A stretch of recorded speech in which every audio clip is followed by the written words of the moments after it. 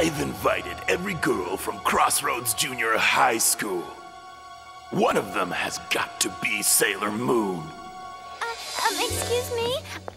Mr. Stanton?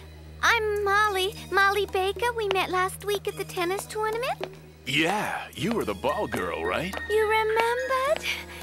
Anyway, there's something I wanted to ask you. Um, did you by any chance send a bunch of letters signed Tuxedo Mask?